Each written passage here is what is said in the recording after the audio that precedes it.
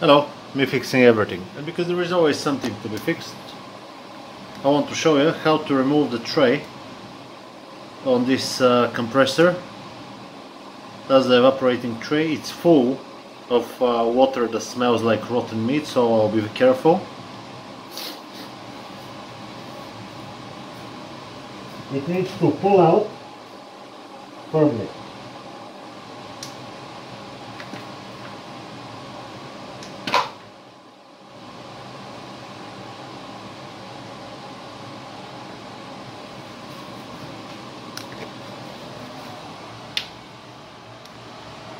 That's down. And that's it. I hope the video is being helpful to you. It smells really bad.